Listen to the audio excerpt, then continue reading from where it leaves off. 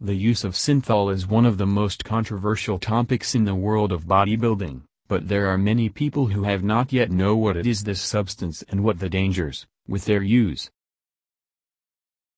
The synthol was invented in the 1990s by the guru of bodybuilding Chris Clark.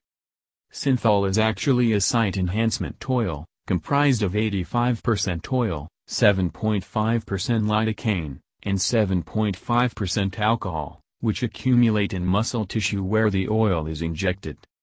By injecting the oil, the muscles increase in size, creating the illusion of a larger muscle.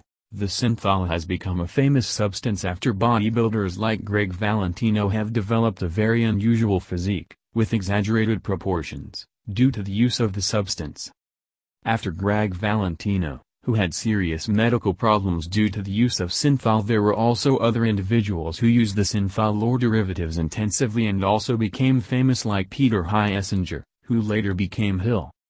The use of synthol gives the muscles an appearance out of the ordinary, creating clearly visible bulges. The synthol is used to increase the size of the muscle groups in which the oil is applied. It is very common for bodybuilders to have different size in their muscles, or a muscle that grows faster than the other. The synthol is used to balance those muscles, although artificially.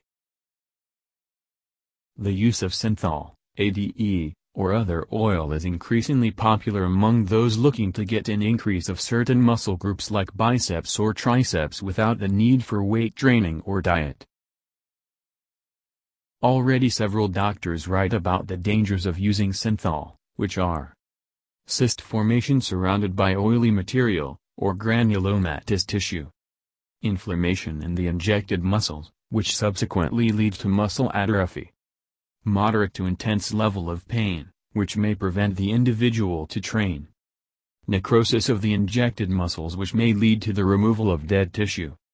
Formation of pus in the injected area, infections in the injected muscles, which can later lead to partial or complete amputation of the member.